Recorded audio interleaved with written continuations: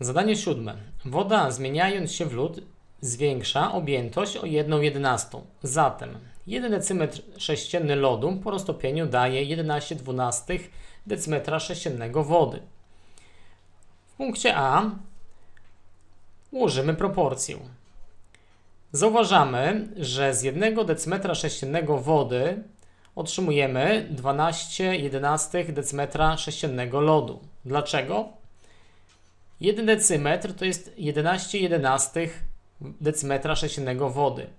I do tych 11 jedenastych dodajemy właśnie wzrost o, jedyna, o 1 jedenastą. Stąd mamy ten ułamek. Następnie bierzemy w proporcji, tutaj w rubryce lód, wpisujemy 1 decymetr sześcienny.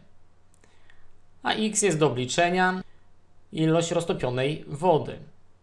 Jest to proporcja, więc mnożymy ją albo na dwa skosy, albo na jeden skos. Ja wolę na jeden, więc x równa się 1 razy 1 i podzielić przez tę samotną liczbę, która jest po skosie z x.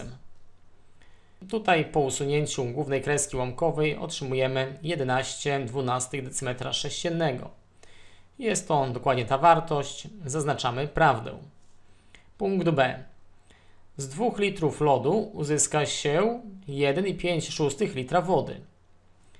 W zasadzie pierwsza linijka jest do przepisania, tylko tyle, że zmienimy jednostki z decymetrów na litry. W zasadzie litry są równoważne decymetrom. W drugiej linijce naszej proporcji pod lodem wpiszemy 2 litry. Widzisz? A woda jest do obliczenia. Jesteśmy ciekawi, ile z 2 litrów uzyskamy wody. Tu również wymnożę proporcję na jeden skos. x równa się 1 razy 2 dzielone przez ten ułamek, co jest po skosie z x. Tutaj licznik to jest dwójka.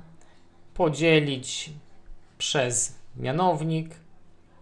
Dzielenie zamieniamy na mnożenie przez odwrotność. 2 i 12 się skraca. Utrzymujemy szóstkę w mianowniku.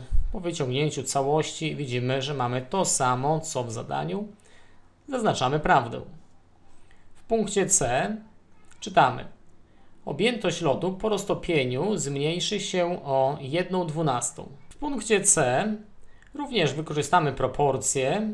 Tutaj mamy wodę, lód.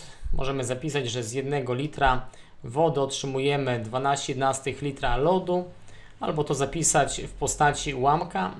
Nas będzie interesowała ta postać z ułamkami, gdyż lepiej tutaj jest widoczna różnica między jedną a drugą objętością.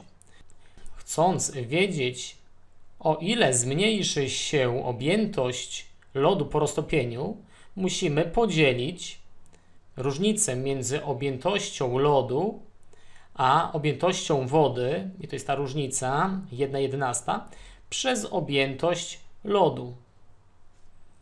Elki się skrócą, jedenastki także się skrócą. Jak widzimy, główna kreska łamkowa, dzielenie zastąpiłem mnożeniem przez odwrotność. Jedenastki się likwidują i otrzymuję jedną dwunastą. Wobec tego tutaj również zaznaczam prawdę.